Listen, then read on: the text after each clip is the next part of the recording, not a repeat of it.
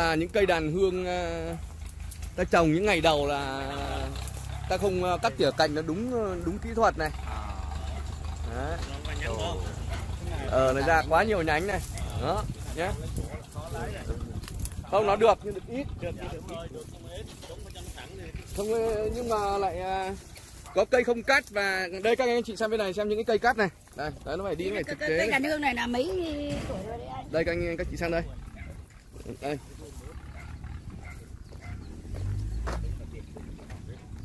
Cái này cây mấy năm rồi anh? À, sang 6 năm rồi đấy anh. 6 năm rồi. Sang năm 6 năm rồi đấy. Đây là cây cam. Sen, sen. Sen. Cây này lớn chưa? Hồi này các anh các chị đi ngang có thấy cái, cái vườn đàn hương ở chỗ dãy cà phê không? Có có. Anh chốc nữa về ngó sơ À. tí. Kiếp nhỉ. U cây này đã chưa? Cây này Cây này là 6 năm rồi. năm rồi. Vâng. 6 năm rồi này. Được. không chưa? Đây là cây này là ừ, ta cắt cành là nó nó nó, nó chuẩn hơn này. À, Ta rong từ lúc nhỏ đấy. đó. Đấy là cái Tỉa cành, tỉa cành để nó lên theo kỹ thuật. theo đúng kỹ thuật. cây đàn hương nó được 6 năm. Đấy các anh các chị đứng sang bên đây này, rồi ờ, đi vào trong đấy, nhìn đấy cái khoảng độ 4 mét, 4 mét một cây. Đây là trồng sen ở vườn cam quýt đúng rồi. Cam quýt được. À, có vườn về trồng. Hoa đàn hương rất là thơm nha. Nhiều hoa nha, nhiều hoa đây này, trái không là trái này thấy chưa? Cái này là thu lúc tháng 9 tháng 10 là thu một mùa rồi đấy, một vụ rồi đấy. À, Một năm là được thu ờ, mấy vụ đấy.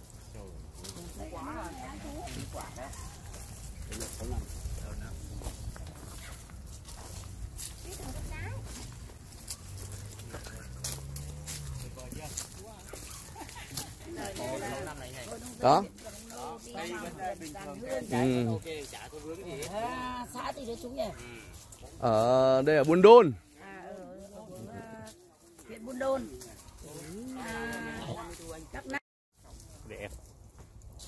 Hôm nay là tôi ờ, dẫn phái đoàn bà con ở huyện Cống Nô đi thăm mô hình trồng cây đàn hương.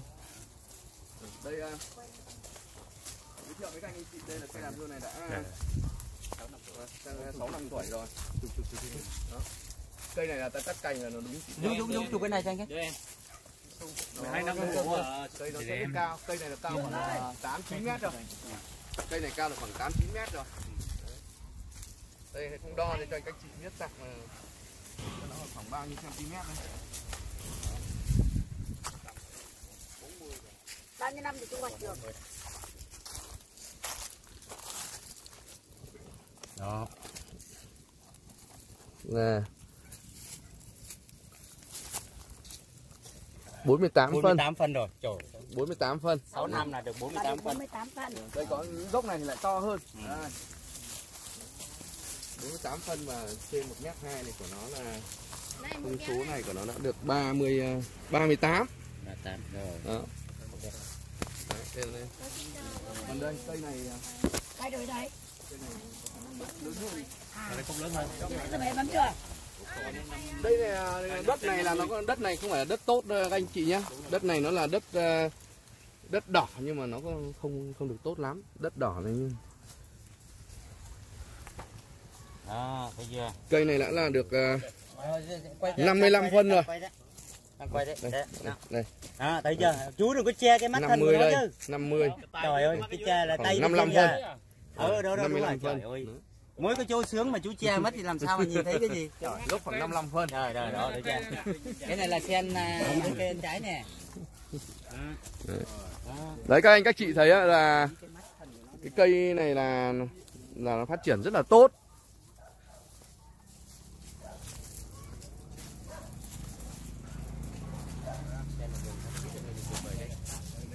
đây, các anh, các chị sang bên này, cho cho thăm ờ, cái vườn bên này nữa.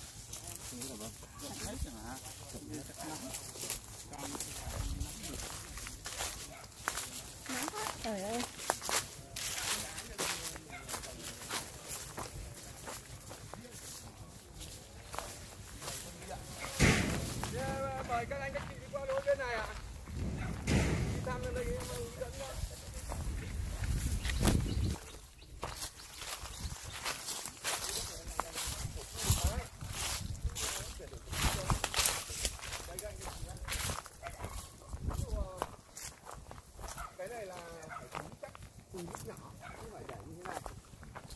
Nhưng mà đây nó là, là phần mô hình nên là ờ, phải để lại là để cho các anh các chị để, để hướng dẫn cho so sánh để so sánh giữa được. cái mà mà mà làm theo quy trình và cái làm không Vâng, đúng rồi.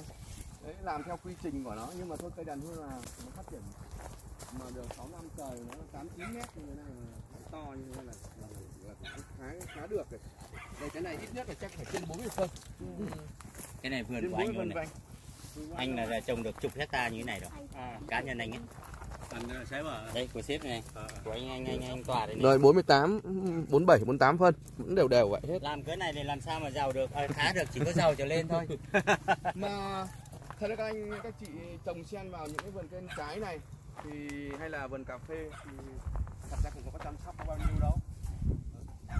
Nhưng cái vườn này thì nó sen trong ờ, vườn cây trái gần như là là thật sự là khi bỏ phân thì tự nó ăn ké theo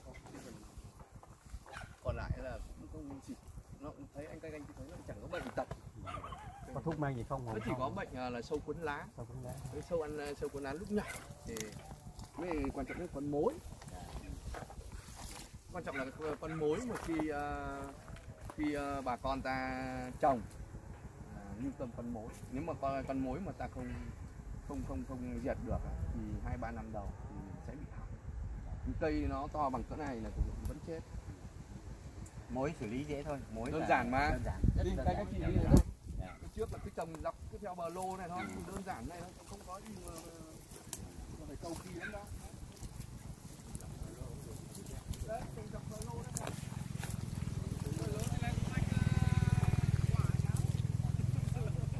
biết không có cái gì nhiều cây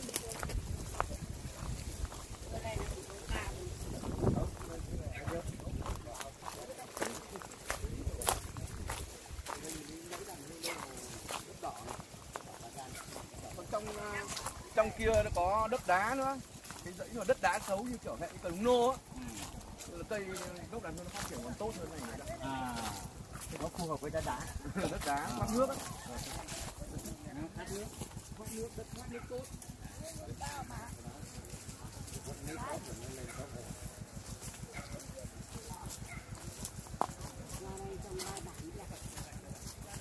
đây một cây chết rồi nhưng mà cái này là một cây gỗ hương này? Một cây uh, cái này là cái này là vườn này là của của, của gia đình anh luôn đấy anh bây giờ trồng một vườn đất đá đúng rồi đây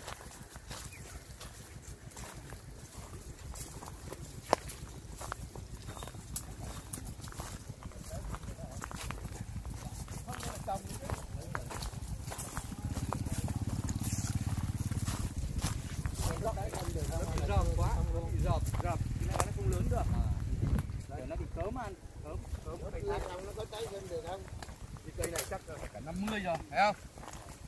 Cái này nó không tái sinh đâu. Cây này thu thu luôn cả gốc mà nhỉ?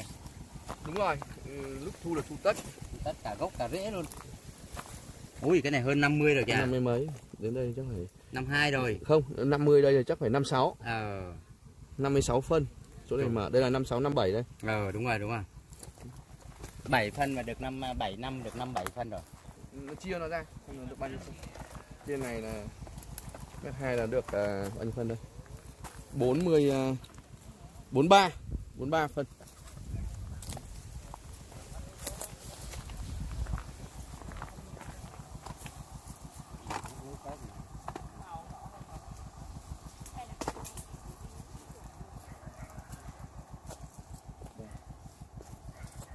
Chụp mấy kiểu ảnh mấy mấy mấy mấy mấy mấy mấy các bác ấy. Hướng hướng nào rõ hơn? Này. Này cái hướng nào mà cách to ăn vườn mà đất đá sỏi á. À, ừ. Vâng. Có vườn nào được à, hơn chục năm nhân chưa. Dạ. Đây là những đây là những cái vườn cây đàn hương lớn nhất Việt Nam rồi. À, à. đây là lớn nhất Việt Nam, nhất Việt Nam rồi đấy. À. Vâng. đất đen rồi vẫn trồng được chứ ờ, vâng đất đen ờ, cát cát sỏi vẫn được. À. Vâng.